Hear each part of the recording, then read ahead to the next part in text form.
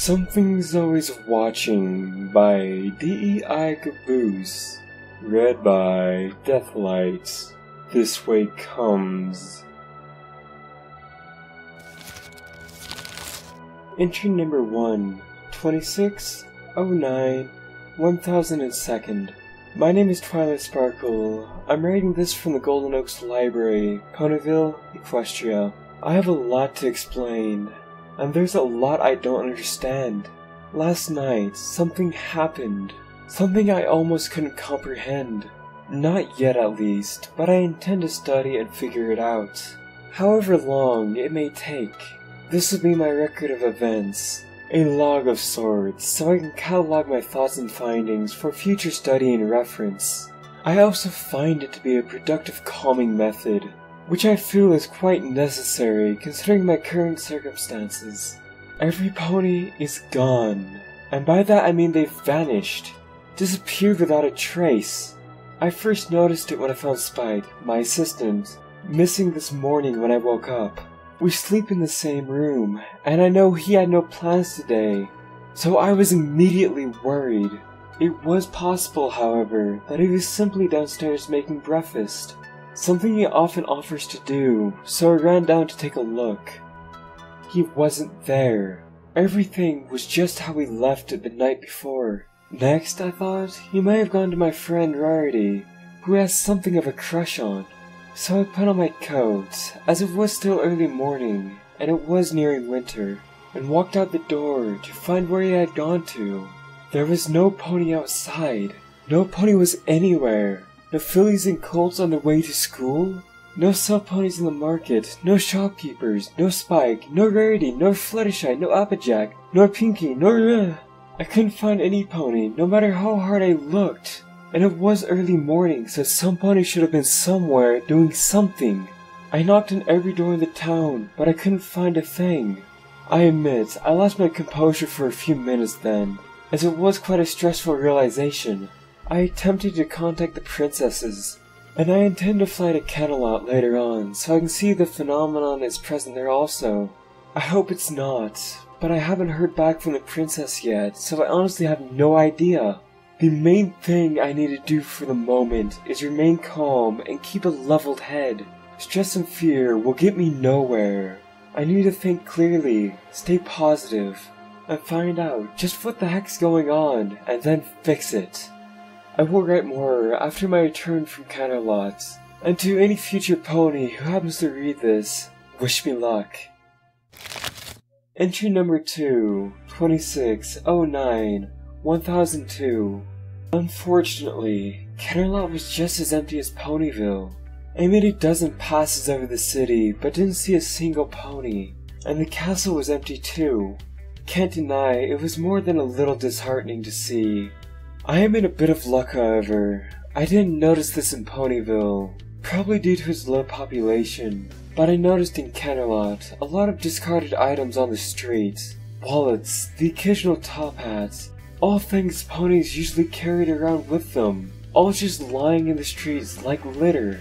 It's not a lot to go on, but I think it's evidence that when the ponies vanished, they left behind any sort of clothing or other things that they had on them at the time.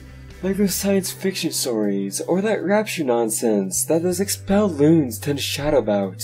So I think what happened was sudden, something no pony saw coming. Every pony was gone in an instant, quite literally. This theory does, however, raise more questions also. Why was every pony taken? Taken where? By who? Or what? How? But most of all, why wasn't I taken? Why was I left behind? What's accomplished by leaving me behind? All this relies on the possibility that every pony is still alive, and not just non-existent at this point. I can't afford to think like that. I can't. There has to be a way to fix this. I need to find a way. Entry number 3, 2609, 1002. How is the sun still moving? The sun is still moving across the sky. There's only one person alive who is able to move the sun. Celestia! If she was gone, if she had disappeared the same as every pony else, the sun would not be moving. In fact, it would still be dark. assuming every pony had disappeared during the night. Princess Celestia must be still out there. If she's still out there, surely there must be other ponies. I'm here, she's here, so other ponies have to be here too, right? I just need to find them. I don't know exactly how I'm gonna do that yet, so I have to work that out. For now, I'm gonna continue my research, trying to find an explanation to all of this. Who knows, Celestia might even come looking for me. There's hope. Entry number 4, 2609 1002.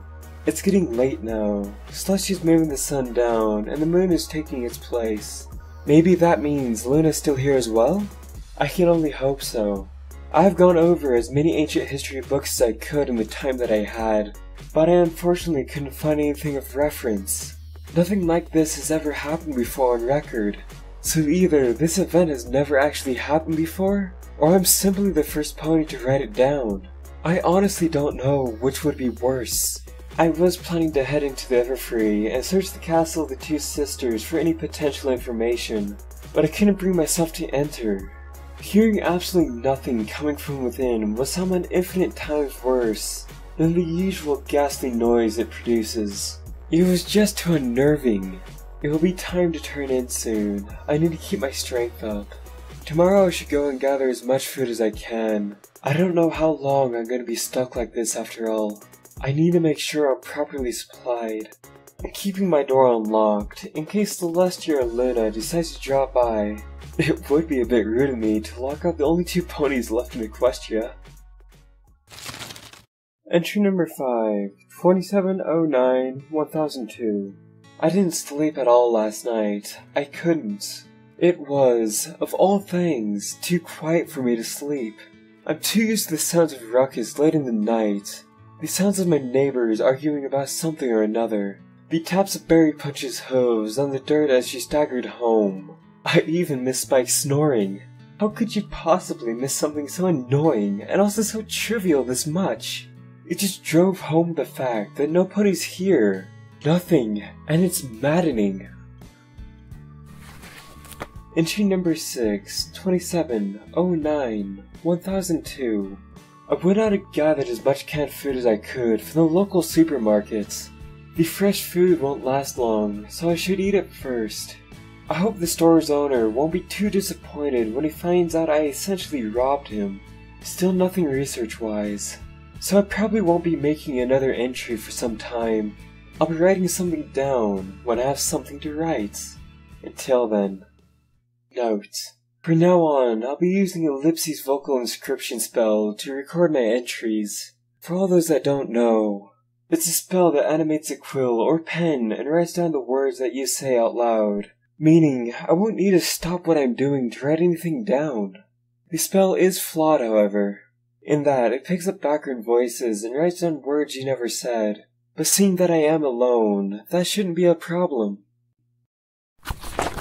Entry number 7 Date 2709 1002. I just felt like talking out loud for a moment. I'm recording just in case I ramble something of importance. Do you ever get that feeling you're being watched? You're sitting by yourself, enjoying your favorite pastime, and yet you can feel it. A set of eyes that aren't there, watching you, fixated. You look for it, yet you don't see anything. No matter how much you search and how much you wait, I'm all alone, and yet I get that feeling. Number 8. I decided to move down to the basement for the time being. I just couldn't concentrate upstairs anymore. I keep getting distracted. I keep looking outside the window and finding that there's nothing there. And no matter how many times I look, I just grow frustrated at seeing it over and over again. The thing is though, I don't know why I keep looking. I know there's nothing going to be there. It's not going to be Celestia, and it's not going to be Luna. Both of them would have contacted me long before now. But I still keep looking, like I'm going to catch a glimpse of something walking by. I don't like it. I hate thinking things are there when they're not. And honestly, it's making me afraid. I'm afraid to look out the window anymore. I'm afraid of what I won't see, but I'm more afraid that I might see something. Something I know shouldn't be there.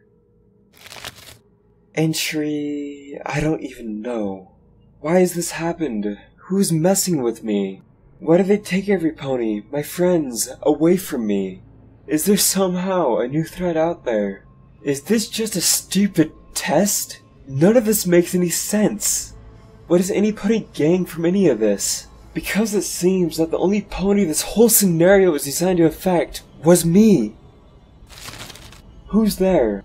I heard you. Hello? Hello? I'm not coming out. If you want to come in, knock at the door.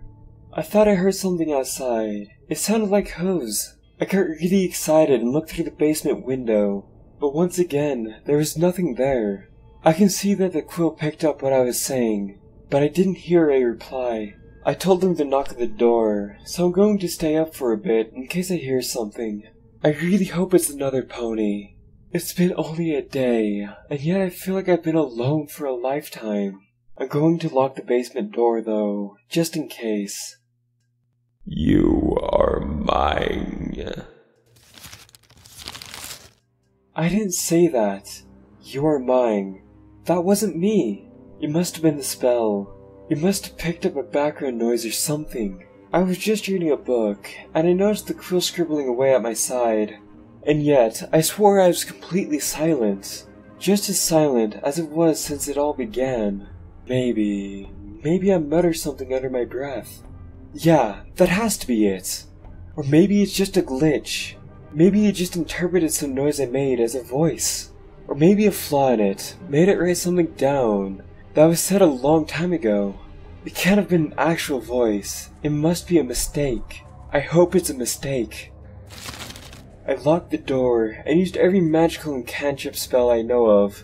There's nothing short of Celestia herself that would be able to break down that door. I heard something earlier, steps on wood. Something's upstairs. I don't know if whoever's gone now, but I'm whispering just to be sure. I've been on edge ever since I saw those words I didn't say write themselves down on the paper. I'm paranoid. That I'll admit.